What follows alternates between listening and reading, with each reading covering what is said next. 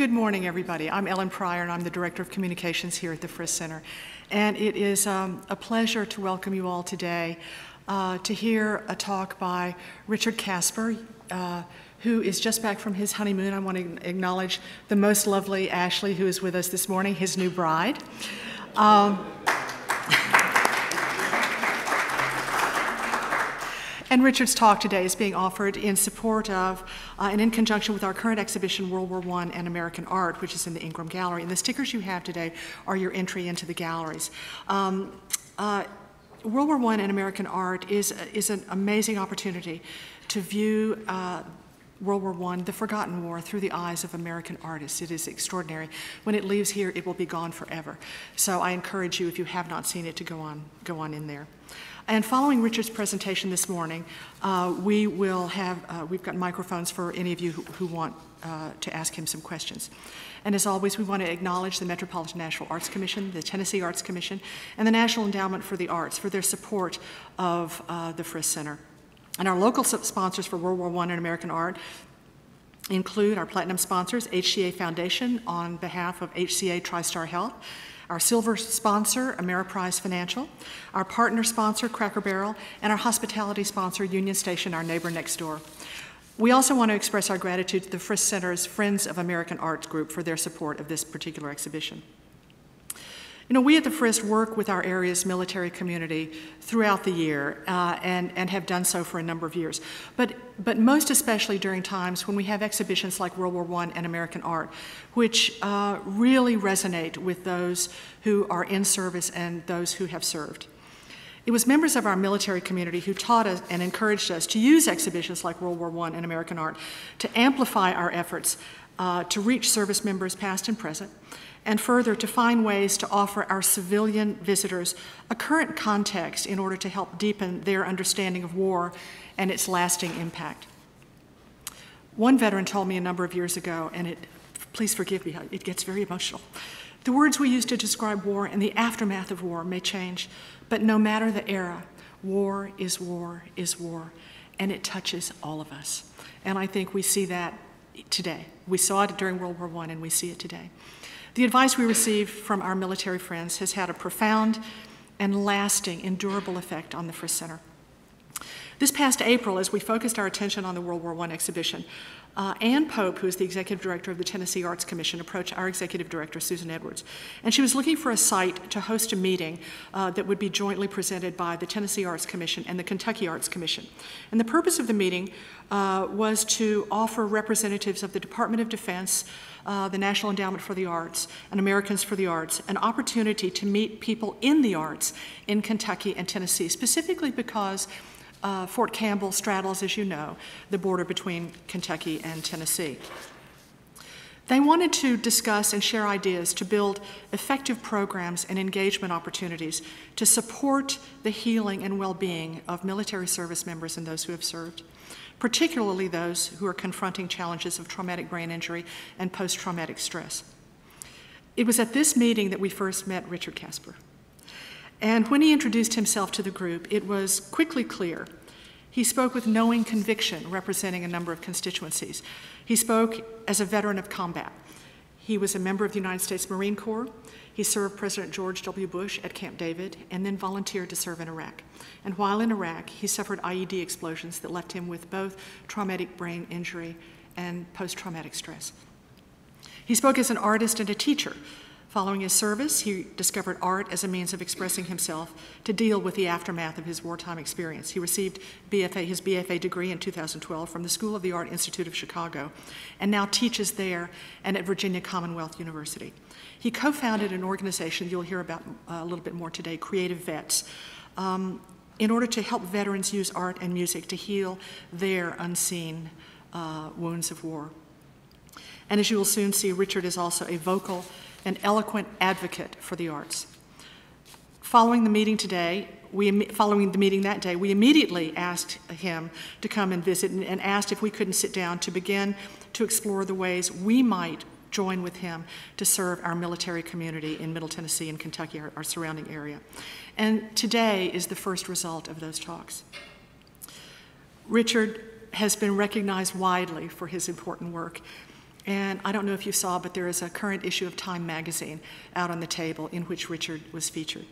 Um, he's been named one of Time magazine's next generation leaders. He joins a phenomenal group of leaders in many fields, not just from America, but from around the world. Emily?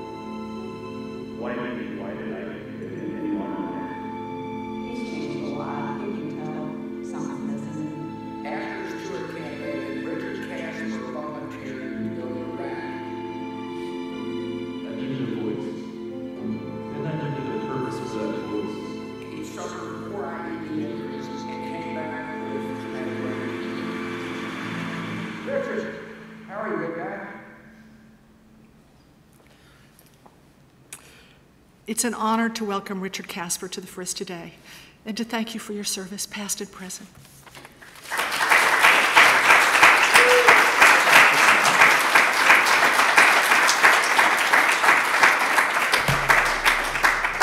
Thank you, everyone. I'm still that, that time video. I can't. I have to turn away because the part of me tearing up still makes me tear up. uh, thank you guys so much for coming out today, uh, bearing this weather, and, and coming to hear me speak. I actually don't like speaking in front of people, so thank you for that. uh, eight years ago, I had to do one-on-one speeches with my speech teacher in college because I couldn't get up in front of class and talk to people. And that just shows you what art can do for you. And I want to start by saying, because you see me as the person now who I am today, but I want to show you who I was before. This is uh, me before war. I'm that, that guy right in the middle. Notice the hair. At one point, I even had those like blonde tips in my hair. It was really cool. I had a bowl cut. Because that's what it was. I was the life of the party. I was class clown, prom king. It was just, it was amazing. I loved, I loved being in high school. I loved being that kid. I was also six foot three, but I was only 155 pounds. So I wasn't, um, I didn't look as much like I did today.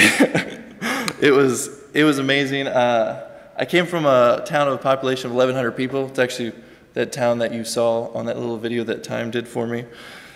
And this is just kind of set up to show you there's, there's a lot of different, there was me back then, and then there's wartime me, and then there's me now. And you'll see I'm more like this than I ever was, and it was all because of art. Um, after high school, I was always optimistic. I was like, after 9/11 happened, I, I just wanted to go to war. I already was writing, I was writing papers about Saddam Hussein before 9/11 even happened, saying how evil he was and how I needed to be over there, how I needed to stop him. Why couldn't I be that person to stop him? Someone has to do it. So I was like, I'm going to join the Marine Corps. I'm going to be the first one over there, and I'm going to find him. And that's what I tried to do. But I actually got sidetracked. Uh, I ended up at Camp David. so I went to boot camp, and I was already, this is 2003, height of the war. I'm ready. I didn't have a, a summer, a senior summer. I just went straight into the military. And they came in, and this is, this, I know my buddy Chad loves this story, but they come in, and this is boot camp where all, everything's going crazy. And they come in and say, Richard, you're a special tester.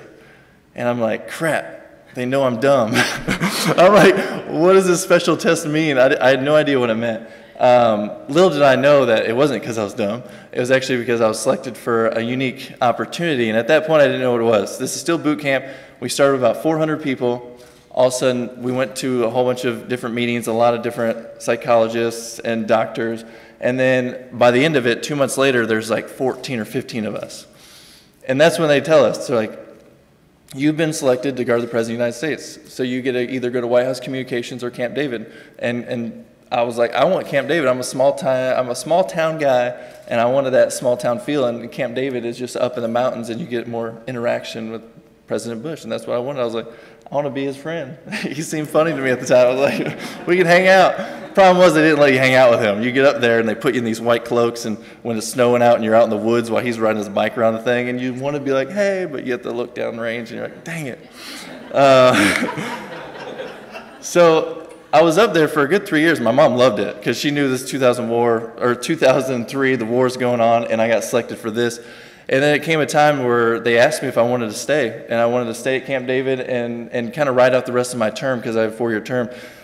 And I said no. I was like, I enlisted because I wanted to go overseas, and I know if I never went to war, I'd regret it when I came home. Um, so I went to the first people who were going to war. I went to 2-7, a unit called 2-7. And if you know, the New York Times just wrote a big article about them about a year ago about all the suicide rate because how hard they were hit. I only actually got to stay with them for about four months while I was in the Marine Corps because, again, I hit this roadblock where I was, I was in it, I was training to go to war, and they said, hey, by the way, you don't meet the deployment time frame. You get out in July or June of 2007. We get back in, in August. Uh, so you can't go to war with us. So I was like, well, send me to the next people who are deploying. So they sent me to 1st Tank Battalion, and I ended up deploying uh, in 2006 to Iraq uh, with a tow platoon. So now here's me in Iraq. Boom. Still had it. I still had that thing going for me. I was, I was still life of the party. This was before anything happened to me, and uh, it's. I was at the peak of it. So in high school, this is all I wanted to do. I wanted to go to war. I can't, it was like a roller coaster ride. I was like, oh my gosh, I'm guarding the President of the United States. How's it get better than this? But for me, this was the biggest place I wanted to be. I wanted to serve my country. So while I was over there, it didn't take long for me to realize, uh, uh, not even realize, it just didn't take long for me to be hit by an IED. It, took, it was in November. I got there in October, and by November, I was hit by an IED. First one, no concussion, but I did tear cartilage in my chest. Um, but I still had this kind of God complex about it. Like, okay, I was hit once, nothing happened. Okay, let's keep going. In December, my best friend was shot and killed beside me, and that's still hard to talk about. Uh, he was he was my gunner, and he was he was sniped out of the truck, and that has been the thing that stuck with me the most. But it didn't stop there because so that was November, then December, then January 1st, I got hit by another IED uh, with a concussion, and then January 17th, another concussion, and then February 13th, I got another concussion. And so four times I was hit, and uh, I couldn't work after that. They said I was unfit for duty. My brain was too injured, uh, but they kept me in Iraq, and I just for the next four months, I kind of, I just worked it out to live on the base and do everything that they wanted me to there. But because I had four months of downtime where they didn't send me to get treated for my brain injury, they didn't know I had one at the time, but I think they just kind of swept it under the rug as another you know, casualty, but let's keep them working. So I had to extend a month just to go to war.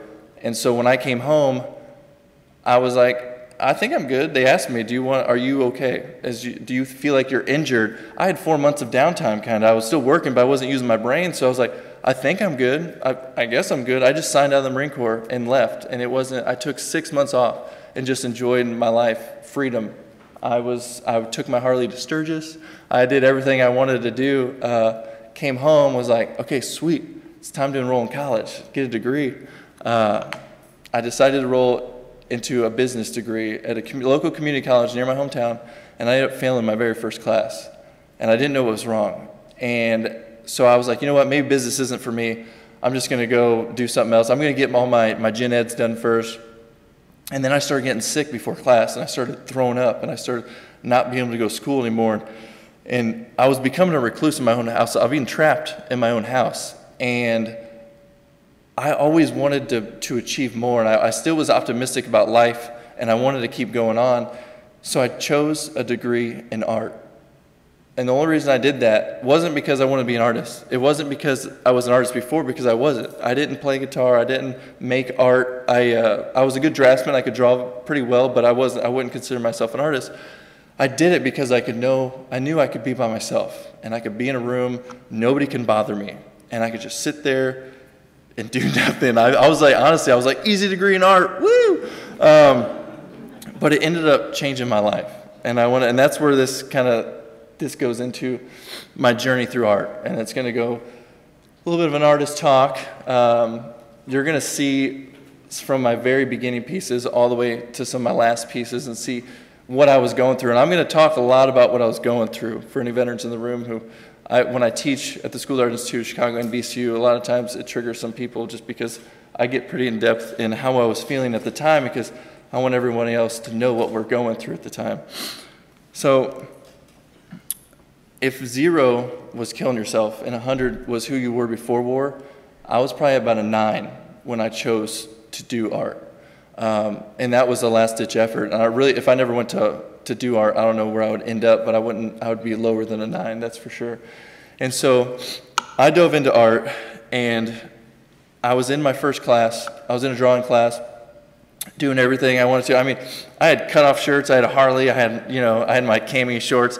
I, acted like nobody knew what I did and wore and, and that I was even over there. I had a tattoo of, of Luke on my shoulder. Um, I just kind of blurred everyone out. And I was like, I'm just doing my own thing. I'm drawing, I'm painting. Nobody asked me questions about what I went through. I didn't want to tell anybody what I went through. As veterans who've been to war, we only trust other veterans who've been to war. So it's hard to, to open up to civilians. And one day I had a, I had this photo that was taken of me at my gunner's grave. So every year I go to Houston to spend time with my gunner's family who shot and killed, and I visit his grave. My uncle took a photo of my me, my arm up on his headstone, and so I, I was getting pretty good at drawing, and, and, and we were starting to do chalk pastels. First time I was ever doing that. And so I go into class, and I was like, I just really want to do this photo. So I, I get I get this seat that's like away from everyone else because everyone usually sits in like a circle-ish or you find your own spots, and I just move my away from everyone because I'm finally diving into something that actually means something to me, and I still didn't want people to know, but I had to get it out there. And uh, I'm going to show you the piece, but this is the piece I ended up with. But when I first started it, it wasn't meant to be all red. I was sitting there in class, and I'm so thankful to have this teacher that I did at this community college in uh, Bloomington, Illinois. But I had everything. All this was like roses. I had this right here colored in. Um, I had my arm. Everything was colored in normal, natural colors. So I got to the background, and my teacher comes up to me, and he already knows about what I went through a little bit because before I went to teach class, I had to tell someone what I went through. So I told the teacher, I was like, hey, I've been to war. I have a brain injury, PTS. I can't really talk about a lot of this stuff. So he knew a little bit about the background, but he didn't know the full story. And so he comes up to me and says, Richard, instead of doing the background green like you're going to for grass, I just want to challenge you do it a color that doesn't make sense on paper, but it makes sense to the way you feel. I was like, that's weird. like, I don't want to do that. it looks so good. But I ended up doing it. I dived into it and I really thought about color as an emotion. And so I put red on there all over it. And the fun thing about art classes is that you have to do critiques. And typically, my critiques before that, they weren't anything special. I just put up some work and we talk about it. And so we put up this piece of artwork and everybody else's, and it gets to me. And they're like, Richard, would you like to talk about your piece at all? Nope, I don't want to talk about it. I just want to just look at it. Isn't it cool? uh, and then so he opens it up to the rest of the class, and the rest of the class starts talking. They're like, I think you put red in there because you saw him die. Or I think you put red in there because you loved him, because you're passionate about him. Sorry, I get emotional. Uh, and so all of a sudden I'm hearing from all these people my story. And I'm like, I never told a soul what I went through. How do they know what I went through just from a color? So I started diving just deep into this whole concept of, of color and using, using symbols to tell my story. And I was like, what else can I tell these people without physically talking about it? Because that's the thing, we want to tell you, but we don't want to tell you. We don't know how to open up to you. They teach us how to be not vulnerable, and now all of a sudden we're being vulnerable to you. We're like, no, we can't do this. We can't show emotion. This was the perfect blend between both for me because I was able to put this in a room and walk away and understand that they get it. And even if they didn't get it, knowing that someone did, I now think everyone does. Everyone that sees my piece, I don't have to talk to you because I know you get it. To me, it's it's an amazing feeling, and so that led me to start doing more pieces. Um, one of my first paintings I did, um, very first paintings I did, was this. And uh, for the longest time, I didn't even tell people what this was about because it, this it was it was again it was hard to talk about. I was painting these things, and the great thing about art is that you could hide a lot of things.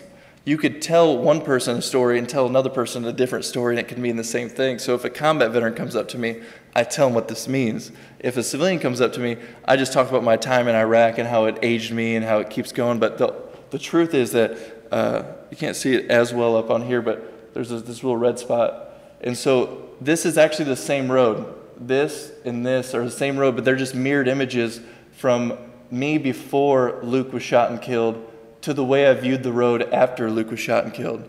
So it never looked the same to me after that. Um, everything's just tattered and torn. And it wasn't until that moment that I realized where I was and how, how ugly that country was to me and, and how I'd never forget the spot that he was shot and killed because every day we went back on that same road he was shot and killed. I had to just put another person up in my gun and keep going the next day like nothing happened.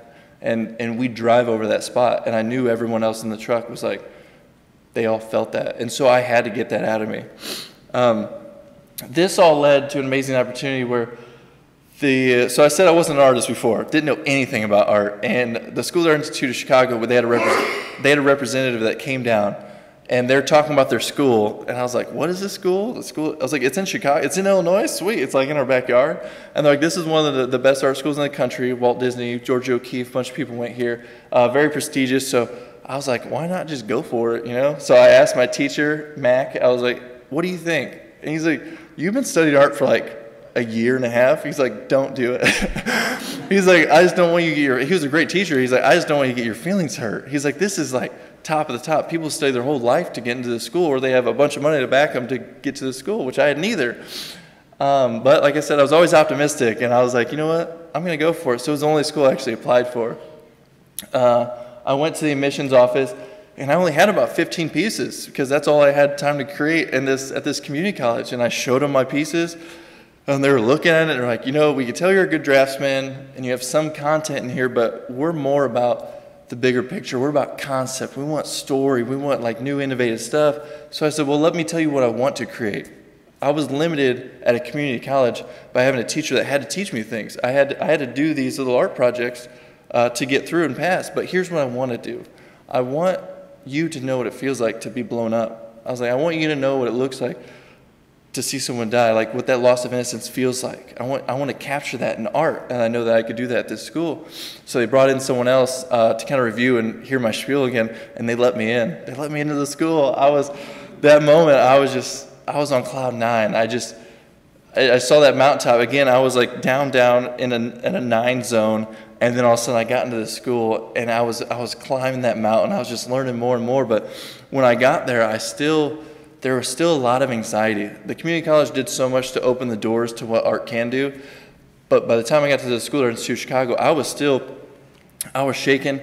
I didn't know, I, I thought I was going to have the same problems I did when I went to the community college. Uh, and so I went to orientation. So they make new students and freshmen go to orientation. I went to this big auditorium, all these big tables. I go there, I find a seat in the back, I just sit down at this round table because at the time I still couldn't do one-on-one speeches with people, or I had to do one-on-one speeches with people because my anxieties were so bad. So I knew if I sat in the back, nobody would notice me. I could just chill, see what was up with the school, and I could just leave after that. So I went in there, I sat down, and then at this table, this mom and dad sit down with their kid, who's an, obviously a freshman artist kid who just got to the school, and he's he's just looking down, and so this is a perfect opportunity for his parents to try to make me his friend. so they're just like, what are you doing? What are you here for? And I'm, I'm just talking a little bit because they're, they're, since they're there, I'm, I'm open to talking to them. And you could tell he wants no part of this. He's like, just quit, mom. Like, I can make my own friends kind of thing. Um, and little did I know that that actual interaction saved me a little bit later down the road. But from that moment, all of a sudden they said, okay, now we're going to break up into groups. And again, I still couldn't break up into group. I, I could never be the center of attention. After war, it was something about being the center of attention that led me to my anxiety, my depression, my throwing up and getting sick. And so every time they said, now let's split up into groups, we're going to do tours, I bounced. I, I went back to my room and locked myself in there and just started doing art. I couldn't, I was still so anxious. I was like, I don't know if I could even be a part of this school because what if I can't even do normal interactions? So the next day, they have the next day of orientation. I do the same thing, go sit in the back. They break into groups. I can't do it again, so I just walk away. So I'm like, okay, I'm just going to I'm just going to go to my first class. I'm going to be super early. I'm going to. I always carried a bottle of water back then because I'd always get so my throat would get so dry. I would carry water everywhere with me, and so I went almost like a half hour early. And I get there to the, where the room's at. There's no windows. I was like, I can't go in here unless I see who's in here, and I, I want to be the first one in there. But if there's someone in there already, so I'm already freaking out. I'm like, first class at the school thinking I'm not going to be able to do this. And I'm pacing outside the window on the third floor the, at the School Dental Institute of Chicago. Nobody else up there. And this door is like lava to me. I do not want to touch it. I do not want to go in there. And I'm starting to feel anxious. And then I look up, and there's that kid that was at my round table, just like coming down, just like walking down the hall. And I'm just like, Are you going in here? And he's like, Yeah. This poor kid. I was like, I need someone to know my story in order to feel comfortable going here. I was like, I was blown up four times. Like, I lost my best friend in Iraq. I was like, I have so much going on, but I need someone to know my story in order to go in here. And I mean, he's just looking at me like, I don't even think he, he really figured out what was going on, but he's like, okay. So I walked in with him, sat down, and the very first class I ever took was a collage class. And that's what started my life into to real conceptual art, talking about stories. And the first piece I did there, um, this piece, if you can see that it's uh, GI Joes, oversized GI Joes that are covered, and, and this was I was still suffocating. And in the military, we actually roll around in four people. In my truck, I had four people. Uh, we call it a fire team.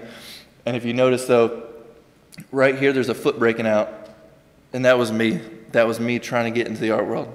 I just wanted. I at that point, I still I knew that this was the right decision, but I knew I was suffocating myself even trying to do this. And I just wanted to break free. So these are these are like my little call outs to to the world to let them know that I wanted to break through and that I wanted and I had a story to tell, but I wasn't ready at that moment yet. Um, the next piece I did in that same collage class was this little guy. Um,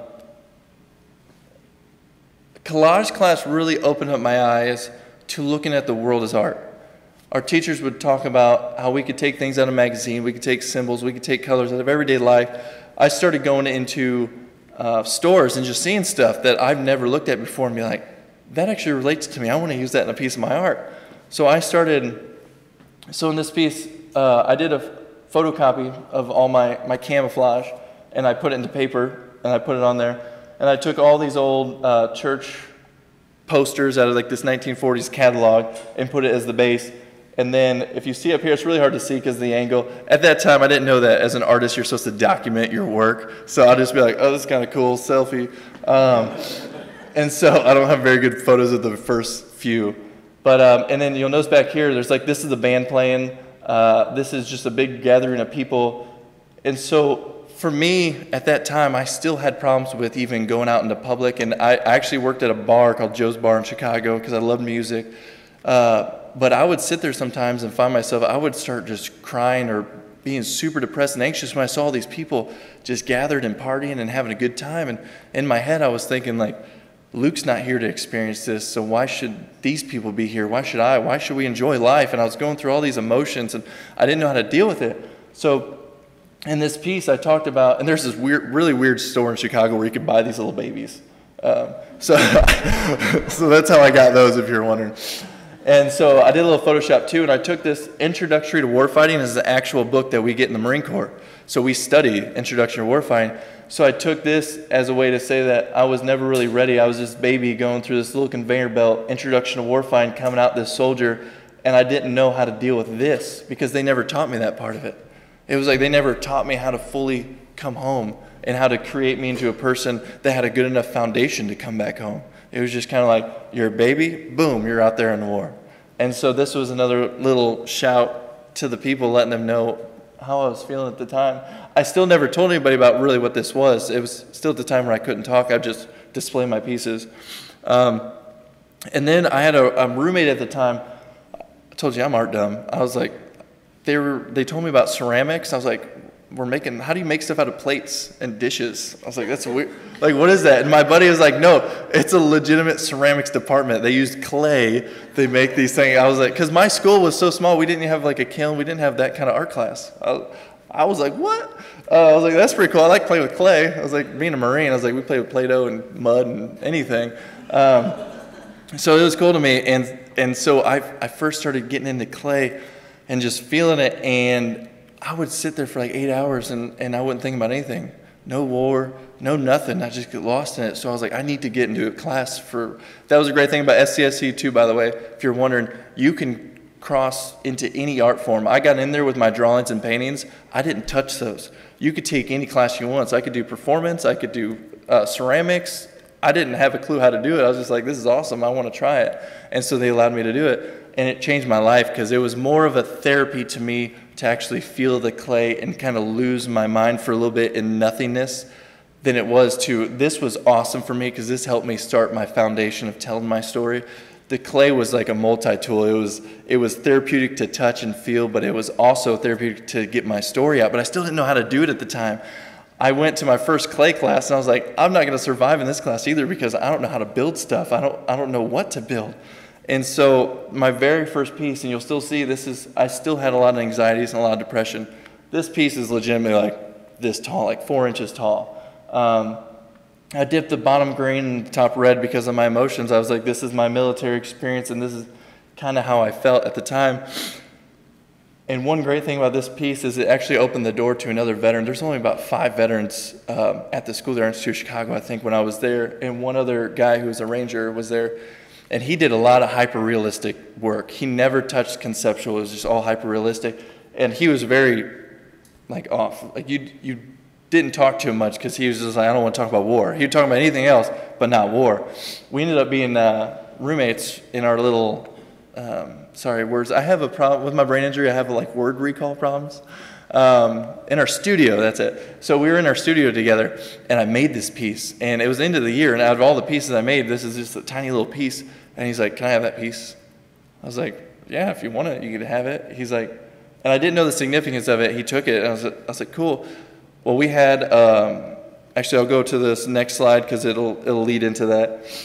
So, this is another piece I did with ceramics about my brain injury. So, this is an IED this is an IED shell, if you know what that looks like in real person.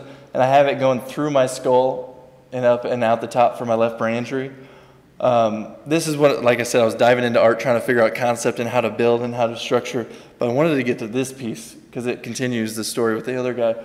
So I started with this piece. I did a plaster mold of my arm and then did a, a ceramic cast of that and I put it up. I put my camouflage in there, and I was like, okay, I want to, I want to let the ceramics world know I'm coming. Like I, this is my climb into the art world. I still can't leave the military behind, and I was trying to reach the top of it, and I still was struggling. Like I left the camis open and empty, so if you were able to walk around it, you could see how empty it was.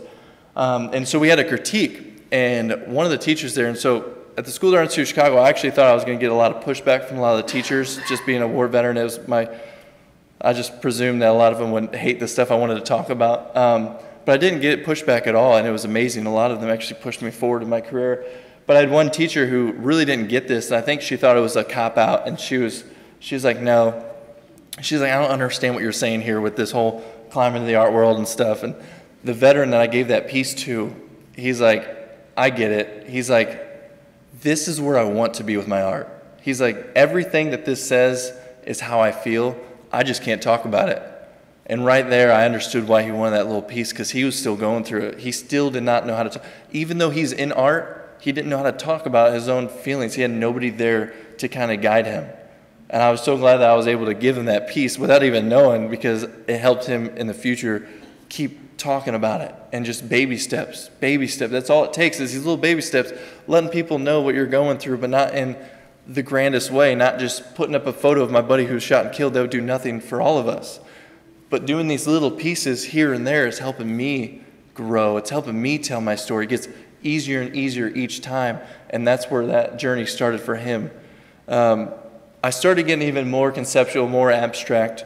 This is a piece I did. Um, I call this, there's actually two, this one and this one. So I call it the five year old and the 10 year old. So I talk a lot about a lot of loss of innocence in war, and I was still I didn't know how to capture that. I was like, how do you capture something that nobody could see? So I started doing these series of these disfigured ceramic military people.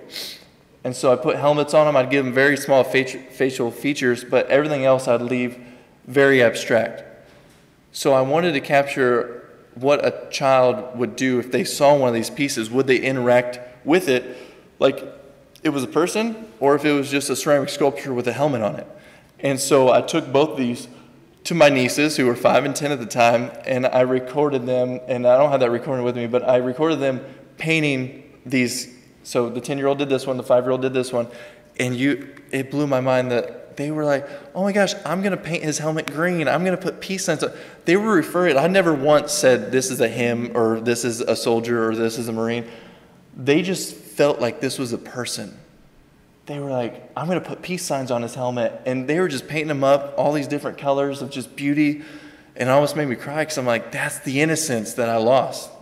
That's what we lost as humans. And um, to capture that with them was just, it blew my mind. And I was so happy for the outcome because you never know the outcomes when you try these little experiments.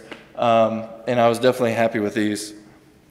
I started diving in more into this, this theory of loss of innocence, and I wanted to take symbols of my childhood and put them into symbols of what the, what the new me looks like. Um, and I have one of my best friends who lost his leg in the war. A lot of people don't see it when he has his camis on. A lot of GI Joes don't reflect that, and so I kind of combined the two. I made almost a life-size figure of what a GI Joe would look like, but I made him an amputee and with this piece too, I wanted to, a lot of my work is, the important part of the work is actually doing the process, like the five year old, 10 year old piece. When you see those, you don't see the process, but for me, that's the most important part. And for this one, it was also with my brain injury. I challenged myself. I, I started putting clay down, I was like, okay, I'm going to go print off a photo of what combat boots look like so I could see exact replica and do them. And I was like, you know what? I was like, with my brain injury, I actually want to see if I could just create what it looks like on its own. Um, so this is one of those little hidden gems I don't tell a lot of people, but it's, it's one of those things that is important to me that I'm constantly realizing what my own problems are and what I'm going through and try to actually utilize them in a piece of artwork to share with others. I started hiding a lot of art in some of my pieces. I started building more organic pieces, outdoor pieces. Um, and actually, I would, I would hide. So there's a bomb hidden in here. There's this little IED. And this was a play on for, you know, the four months I was allowed to work um, in Fallujah. I had to put, patrol MSR Mobile looking for bombs, and four of them obviously found me, so I did a pretty good job. Um, but we, we would constantly look, and they'd be in, in sandbags, they'd be in animals, they'd just be hidden everywhere. And always in our minds, we're thinking, why can't this happen in, in town? Like, why isn't it in Chicago? Why hasn't been, someone been blown up yet? Or is this going to happen? So I would hide them in a lot of my art pieces, and I would have the students realize kind of everyday things. They'd never know which pieces I'd hide them in. But one of the first pieces I did, which I didn't never document, was a bunch of posts. I did a bunch of these posts that you'd see in Iraq, and I made one of these ceramic bombs and I put it behind it. And I made the class, so the class didn't know I was making that bomb. They saw the post that I was making. And so for a critique, I made all the students walk right through it. They walked all the way through the post. And then at the end of it, I was like, now look behind it. I was like, that's a bomb. You're all dead.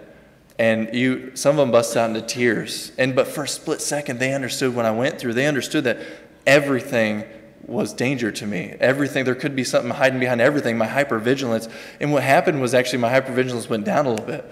As more people knew what I was going through, a lot of my anxieties, depression, anxiety, or yeah, everything went down. And it was amazing. And it was and to know it was all because of this these big chunks of art I was making. I was like, how is this how is this healing me? I started I dived into some installations and I didn't know what installation. I went back home to my art teacher and I was telling her I was doing installation. She's like, What's that? I said, You're a horrible art teacher. Just kidding. She was awesome. Um, but so I had to explain to my art teacher what installation was. So this actually leads into the reason that I CreatiVets was so successful was I had a teacher who loved a lot of my work, and she had this little office space on the dean's floor.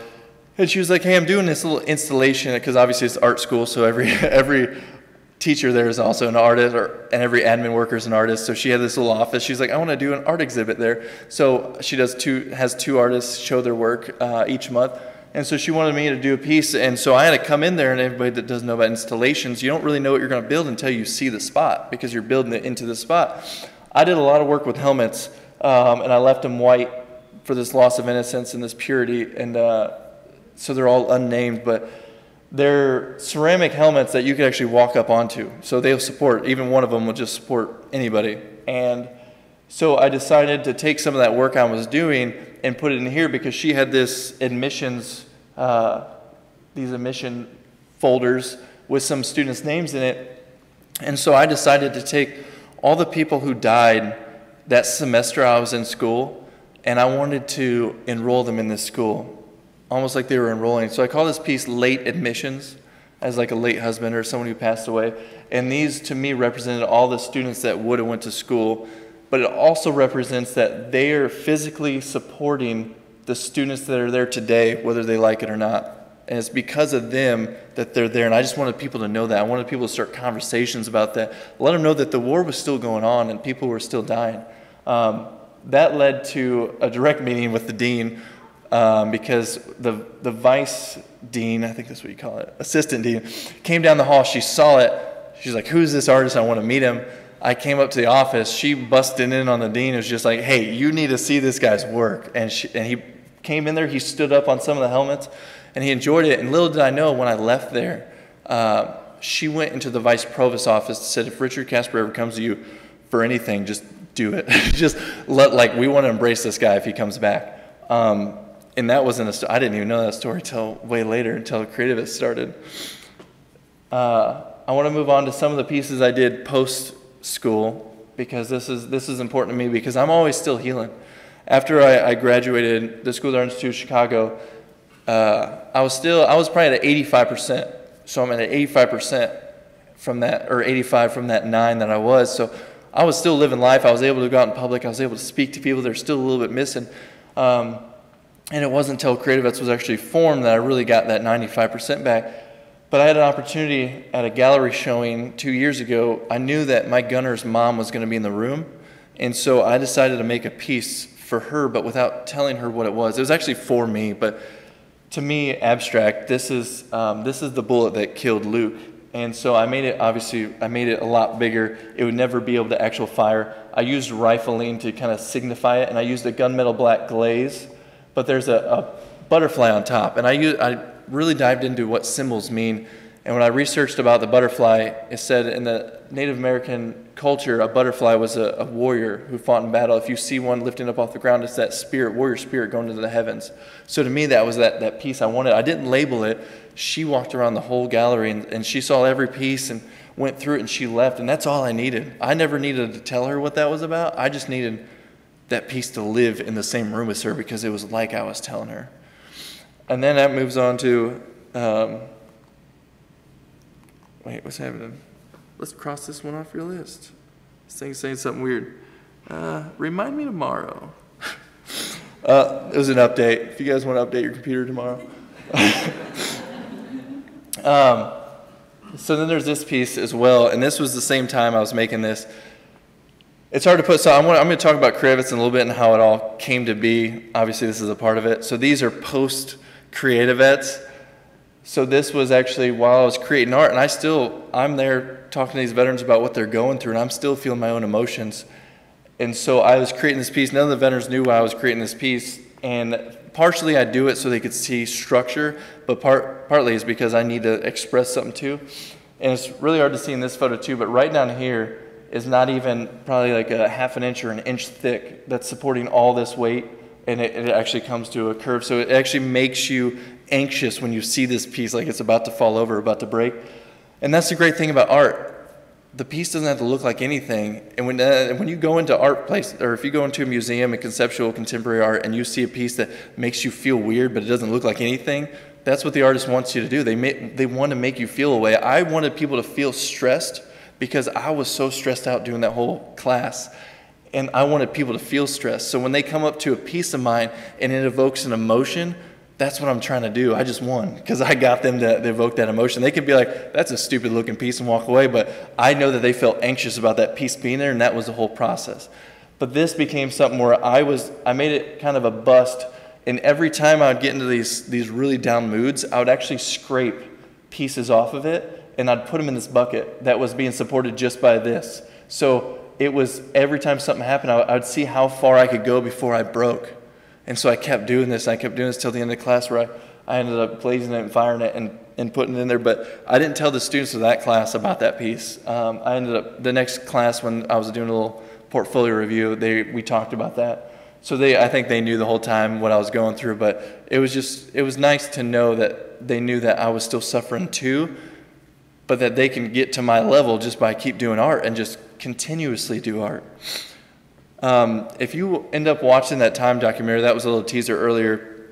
There's a big portion in it that I actually didn't even realize that I've never talked about in any of my speeches because it was a lot for me. It was art for me. Um, it was I have a field out in my my hometown where I just have all my art pieces. All my ceramic art pieces are just surviving the Illinois winters and summers and Illinois winters and summers again.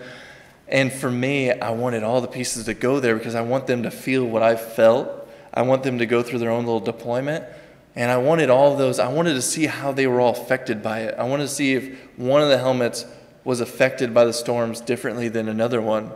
And that's actually what happened, depending on where they were in the old barn structure. Some of them were completely green, some of them didn't have a scathe on them. And that's kind of how PTS affects all of us. Some of us come back and we, we're all green. Some of us, we're just white. It's like we're just going through the motions. And it's every time I go home, I, I just love seeing it. And that time documentary captured it so well. And so I have a few of those photos that I'll scroll through real quick. It's hard to see them at night one time in the wintertime. So that's one of those pieces I showed earlier, the feet. There's another one. This is all like in the field in an Illinois winter, which is pretty horrible. and they all survived. And then, uh, real quick to lead into CreatiVets. I'll probably go over time, but really quick to lead into CreatiVets. This photo, I did a little bit of photography too. And this veteran right here, Jesse, was the very first veteran to ever go through a CreatiVets program. And that's why I want to include this in some of my art talk. but also, I was on a Harley next to him and I set the cruise, this little throttle lock, and I just turned and started taking the photos in case you're wondering how that photo got made. Um, and we're just riding in Illinois, and I call it Freedom Ride because Jesse came back from war, and if you notice, he has burns all over his face and arms, and he lost his leg overseas. Um, but this is the happiest time he's ever been. I mean, you could just, you could feel the freedom, and this is just, I wanted to capture everything. And it's also where does the machine start and where does he stop? I mean, we, we do so much with our Harleys, but now you see Harleys on his legs, so is this a part of the machine or is it part of him? Or is he the machine? It's everything about this photo I just absolutely loved. Um, and this is also the reason I ended up starting CreatiVets because he was the first one willing to come down with me to Nashville to, to write with a songwriter before anybody else would. I just came up to him and started talking to him about songwriting. And I was like, Have you ever thought about songwriting as an option? I would love to take you to Nashville to write with some writers because previous to that, as I was going through my whole learning about art, I was also learning about creative writing and songwriting. I was learning how to play guitar. I was just kind of teaching myself, and I kept writing this song about Luke that just didn't live up to what I wanted it to live up to. And working at Joe's Bar, I was able to talk to a songwriter named Mark Irwin who has eight, nine number one hits, I think. And uh, I came up to him. I said, I have so much inside of me. I need to get out. I've been trying to write a story about my buddy who died, and I just can't do it in the way that I want to. Can I come to you in Nashville and will you help tell my story? He said, Yeah. I was like, this is crazy. This guy's gonna write with me. So I traveled to Nashville and wrote with him, and it just it changed my perspective. And I thought, if three hours we can get my story in such a way that I want to share it with everyone, can we do this with other veterans who haven't been studying art for the last four years and still make an impact? And so Jesse kind of was my lead into that. And I let him know, I was like, I don't know this is going to help you. I know you hate telling your story. Um, I just want to know if, if you'd be willing to come with me to Nashville and write a song about what you went through. And his love for music outweighed his anxieties about telling his story. So he's like, heck yeah, I get to go down and write music with a number one. Yeah, yes, yes. and I was like, okay, we're on to something here. Um, I wanted to lead. This is so hard to put this anywhere. So this is veteran statistics with suicide rates. Um, there's 20 suicides a day. It went down from 22. This is the latest update as of 2017, even though it says 2014. Um, and it's just so hard to put in there because me and Jesse and everyone else could have been a statistic. And I knew that was a problem when I when I graduated that school, and I knew that art was an option. But I knew people like me and Jesse don't just jump into art. I was like, who's gonna who's gonna lead us into art? I fell into art. I was I feel like I was in so many paths, and I just kept choosing the right one that led to art. I was like, what's going to choose a path for Jesse if I don't come in here and, and try to get him to do this? So this is one of the most important slides, but I always, I'm like, where do I put this in? Because it's so heart wrenching. But that's why we do what we do, and that's why I founded CreatiVets with Linda Tarson, who's the co founder. Um, after Jesse's trip to Nashville, where we sat down with pro songwriters and, and told his story, he was like, That three hour writing session did more for me than the six years I've been at the VA hospital. This is a guy who is just, when he talks, he puts his head down. He's just like, Nope, I ain't talking to people. But when he got in that room and he was just saying, You know, people didn't understand when I came home that when I had to go to the bathroom at four in the morning, I had to crawl to the bathroom floor because I couldn't put my leg on in time. It's like people don't see that, me crawling on the bathroom floor. They don't see the war when I close my eyes. And so he's telling the story just down in his chair to these writers. And all of a sudden, these writers, being awesome Nashville writers they are, they're like, How about this, man? Hey, boy, you're looking good. You know, we're glad you're back yeah, I heard you got hurt real bad. And they're playing guitar to it. He hears his exact words in the song and he just perks up and he's like, This happened to me, this happened to me. Stuff that he was never able to tell his wife that he's like, I can't tell her this. He texted her the song after the session. He's like, Babe, listen to my song because it's not his story anymore, it's his song. This is a little bit of, of Jesse. That's his little saying right there. Little photo thing he did. So I want to kind of capture that. I know it's Nashville. I should have brought a songwriter. I should have done some little jig, but I was just I'm just gonna play one of the songs. I want to tell you the story behind it. Um, are we good on time? By the way, am I going like way too late? I probably am. I'm just gonna keep going. Let's just keep rolling with it. I'll keep talking until you guys want to leave. Um, so, CreatiVets right now, our biggest thing is the songwriting program. Um, it's the most attractive to a lot of veterans, but Veterans from all over the country, we pay, CreatiVets pays for their flights, their hotel, their food, all three days that they're here. And I pick them up individually and I talk to them. Before they get here, we have a few phone calls. I tell them when I go through, I'm like, hey, I was blown up four times. This happened to me. I lost my best friend. This is how I felt.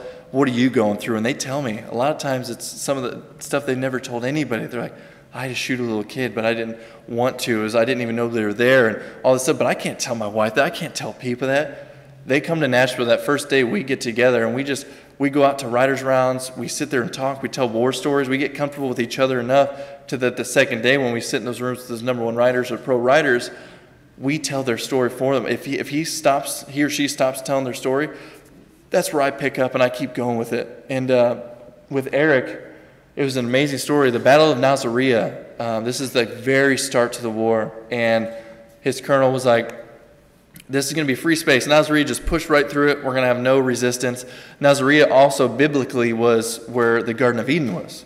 So he's looking at this beautiful countryside. And at the time, he didn't believe in God at all. He actually told me a story about him beating up a kid for putting a cross on a, a dead Iraqi's grave. Um, and so he was like, that's how far away from God I was. He's like, we pushed through this town, and it ended up being the worst day ever. He's, he's, they got so much resistance everyone started shooting at them from the fields that they were going at. People started shooting at houses. They were stuck in these fields. And so the Marine unit ahead of them didn't know anybody was at Nasiriyah yet because this is the very first, first push. And you actually still read about this incident. So they called the A-10s, Air Force A-10s, to say, hey, just go mow down that town because we don't have anybody there. So it must be insurgents shooting civilians. Our own A-10s came in and, and killed a bunch of Marines. And he said he was in this field and he just dropped to his knees and he saw his buddies being shot left and right and he thought he was going to die. And he just said he felt some sort of warmth and just lift off where he thought everything it, all of a sudden he just said everything's going to be fine. And so he was in the pale horse unit. And that's what i love about songwriters is the way that we can encompass so many things that are hidden to his specific story about you'll hear stuff about the pale horse. That was actually what his unit name was. So it makes sense to him more than it does other people but it still makes sense because songwriters are awesome at what they do. I'm actually going to play this song for you. I just wanted to give you a chance to, to read it while you listen to it.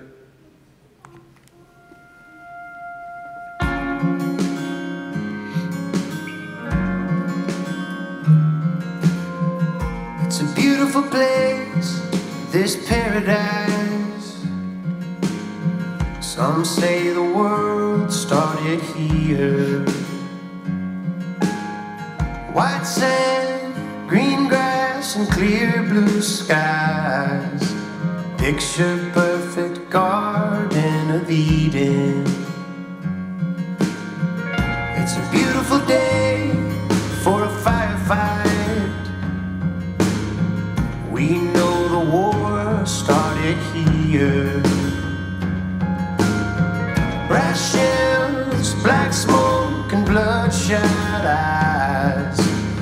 wasn't supposed to be this much bleeding. But now all that I can see is metal rain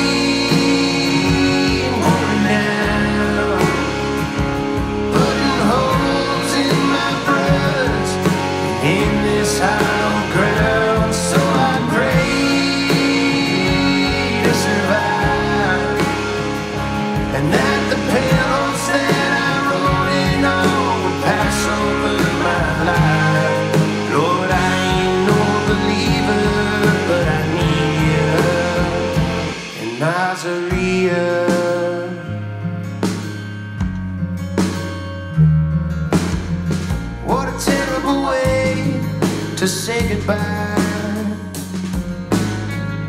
to those whose war ended here.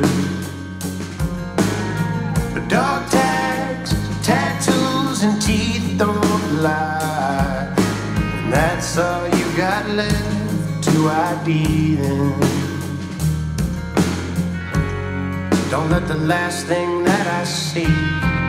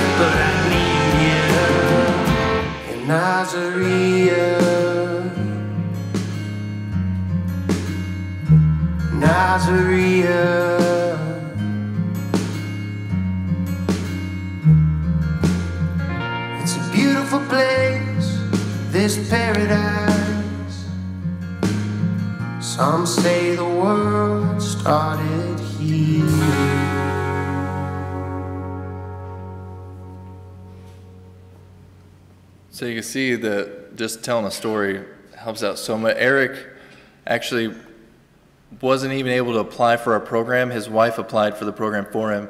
He was at a time in his life where everything, he was, his wife was a 100% caregiver, taking over everything. He didn't have his own phone. He didn't do email. She applied. I didn't even know it halfway through until the trip where she had to come with him. I made sure he asked if she could be a part of the session, but I said no. It's very important that he gets through this on his own. And so she came down. She stayed at a hotel while, while he experienced this. But he went from that to now. He's already learned this song, how to play it, and he's going to play it at the Nasiriyah reunion. I mean, these are these are huge things that these veterans are doing, and it all sparked because now their story isn't just their negative story. It's this positive song they get to share with people, and they know other people can relate to. So that's a little bit of our songwriting program. We have we've had 51, 52 veterans come through this program, so we have so many more songs too. A lot of it is on creativets.org website, um, but a lot of it hasn't even been recorded yet. We're still trying to find the funding to make sure all these guys get their song full production. They all get their song, but not full production like this. So we're slowly moving to get it towards there. So definitely keep up with us if you want to listen to more music and hear some of these more stories, because every story is as as heart wrenching as this. And it's I, I love being in Nashville. That's why I'm here. That's why I moved here. Was mainly to recruit songwriters and keep this program alive by having songwriters who are willing to sit down with these veterans and tell their story because the problem a lot of veterans see is that they don't want to do a program that they think is going to help them. They don't think there's a problem. But when you say you get to come to Nashville, all expenses paid, sit down with a you know a hit country writer, all of a sudden they're like, this isn't a program. I don't care what I'm talking about. I just this is a bucket list thing. Like I get to go to Nashville and write with the number one song. Heck yeah! And it's, so it's hard to turn down, and it's not till they get here they see see the healing factors. The one great thing about this too is that while the song, the guitar I'm writing with during this program, I actually end up giving to them at the end of the program when their song's done and and say, if you're going to learn one song, learn your own song. And that's led to all, almost all of them starting to pick up guitar lessons and, and learning their own songs so they could play it for people.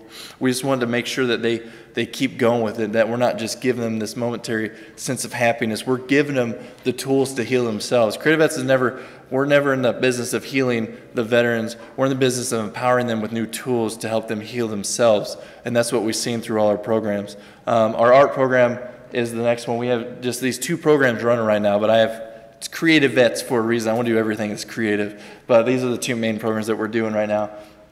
This is the art program. I'm going to play a little video um, so you can see it's better hearing from the actual veterans than me. So you, this is the 2016 art program.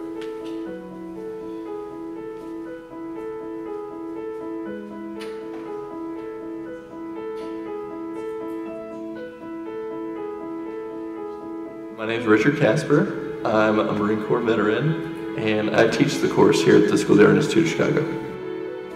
This program started basically because after my injuries in war, I didn't know how to deal with myself. I came back, had a brain injury, my best friend was shot killed. I didn't know myself at that point. Art has helped me by giving me a chance to have a voice again. I used to not be able to leave my house. I couldn't go talk to people. I would physically throw up and get sick. If you could be 0% that's committing suicide, 100% being the best you can be, after the Marine Corps, after being injured, I was at probably like a 9 or a 10.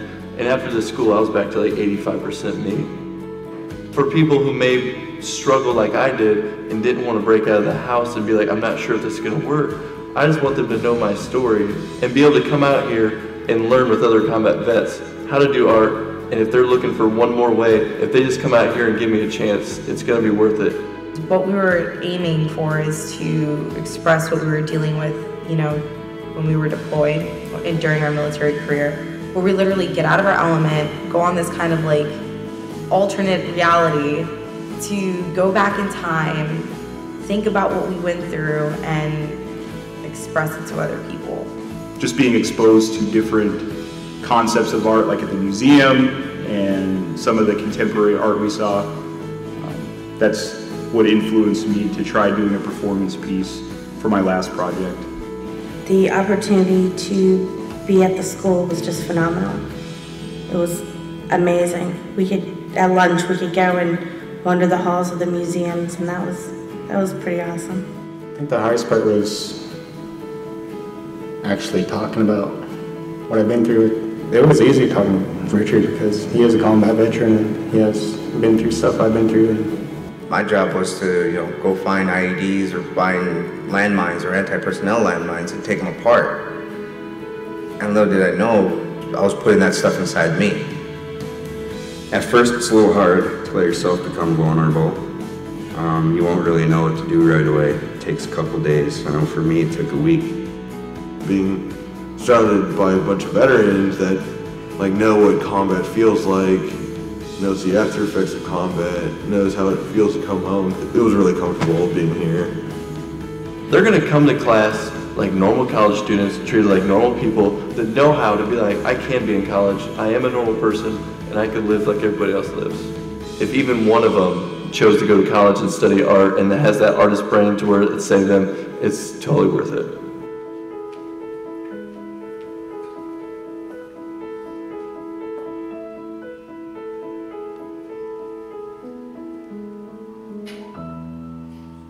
So now we have two art programs, um, one at SCSE, the Schools Art Institute of Chicago, and one at VCU, Virginia Commonwealth University, which is the number one, number one public art school in the country. CreatiVets pays for tuition, housing, food, travel, everything. They're from all over the country. We'll fly them in from Montana, LA, anywhere. Um, we cover everything. Because again, we never want a veteran to have an excuse to not want to seek art as an option. Uh, I knew when I built these programs, I based them off how I felt when I was at nine. I was like, what's going to make me leave this house? I was like, writing songs with someone here in Bloomington, Illinois, will that get me out of the house? No. Well, if I wrote with the number one writer, yes, I'm going to go to that. I was like, go and do just a community college arts class. I probably wouldn't do that if it was just for veterans. I'd be like, ah, it's like a group session to me. I don't want to do that. But going to the best art school in the country for free and just being able to experience Chicago and other combat veterans, yes, I would do that. So that's how all these programs are set up. And afterwards, now, this is actually the National Veterans Art Museum. And all of our artwork that gets displayed in Chicago, all these students, veteran students who've never, a lot of them have never even done art before, they're just trying this to see if it helps them. Their artwork gets displayed at the National Veteran Art Museum after each class. And we actually have an exhibit up right now in Chicago. Uh, it just brings a little bit more legitimacy to our program, and these veterans now know that their, their story and their piece is worth something. And one of these pieces, actually two of these pieces, has now been acquired by the, the, the actual museum, which is unheard of because it's from a veteran, is actually this piece right here from a veteran named Gino who'd never done art before. And his buddy was shot and killed inside, his buddy was shot and killed beside him. And the great thing about this program is that I do, just like the songwriting program, it's still individuals. I do one-on-one speeches, or I do one-on-ones with every veteran through our program. So if we have eight veterans, nine veterans, one day I'll spend doing one-on-ones with each one of them, helping them see what their story looks like in art. So with Gino, he said he's never done art. He's like, I don't know how to do art. I've never touched a paintbrush. I don't know, I don't know what ceramics are. I can't do this. But here's my story. My buddy shot and killed beside me. Um, when he was shot, it was in this cornfield in Afghanistan, and we had to move him to a pomegranate field to be medevaced. Um, he's like, his dying words were, I just love my life. I don't want to die. I love my life. And he ended up dying in my arms 30 minutes later because it took that long for the chopper to get there in the pomegranate field. And so now he doesn't look at pomegranates the same. Pomegranates are his trigger he says that if he went into a supermarket and he was shopping and all of a sudden he saw something that had pomegranate juice in it or pomegranate, he would drop all of his stuff and just freak out and he'd leave and he'd never be able to, he never was able to process that. And that was just one of his many triggers. So what I try to do is dive into what that trigger is and help them express it through art. So he's never done art before and I'm trying to teach him conceptual art. I can go, I could take anybody into a museum and try to teach you modern art, but unless you get what their story is, you're never going to really grasp what it is. So what I do with these veterans is I tell them what their story looks like to me in art. And I told him, if you want a minimalist piece, I was like, your story could be as simple as having this cornstalk with this in parchment or, or, writing that says, I love my life that leads to this pomegranate. And that could be your story going from this is where he was shot to this is where he died. I was like, but think about the process. Is thinking about that 30 minute time frame. Why don't you either write something 30, 30 times or why don't you do it for 30 minutes? And I give them a little bit, just enough. And I say, you can't use this as a piece, but I want you to build off of this. So all of a sudden their brain's going. They just saw what their story looks like, in a, like in a minimalistic piece. And so he just ran with it.